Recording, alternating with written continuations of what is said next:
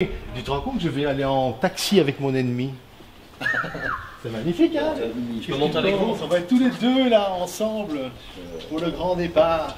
J'espère arriver à Angoulême sans trop d'inquiétude néanmoins. Mais t'inquiète. Hein. Quoi, si on va par Angoulême là